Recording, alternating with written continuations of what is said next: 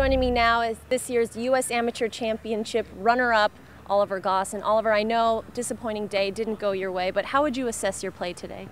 Um, the way I played today, um, I had a game plan and um, I ex executed it partially, um, not quite the, the, way, uh, the way I wanted to, but um, Matt played really well today. He played solid and uh, he did what he needed to do to win.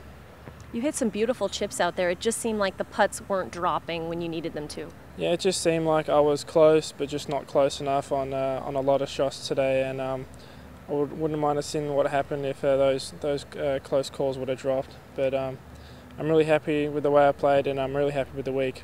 And you had your opponent from yesterday's semifinal on the bag today. How did that come yeah, about? Um, we, me and Brady are really good mates, and a um, good friend of mine. So um, I was really pleased to have Brady on the bag. He did a wonderful job, and um, uh, I don't know how I'm going to repay him for today.